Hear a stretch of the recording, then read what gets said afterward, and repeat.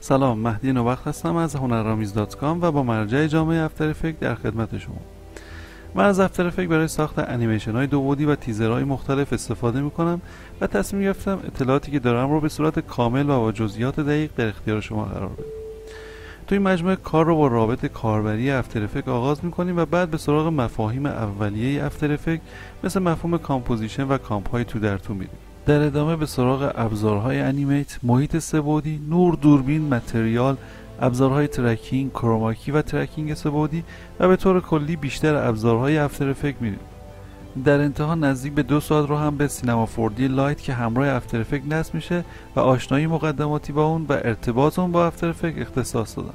تو تهیه این مجموعه هدف من ایجاد مرجع فارسی یا help فارسی ویدیویی بوده به طوری که اگر کاربری دنبال مطلب خاصی بگرده بتونه اون رو تو این مجموعه پیدا کنه بعد از اتمام این مجموعه امکان استفاده خلاق از دفتر فکر رو پیدا می‌کنید اما آموزش در اینجا تموم نمیشه و می‌تونید با مراجعه به سایت های مثل videocopilot.net اطلاعات خودتون رو از افتر کامل تر کنید.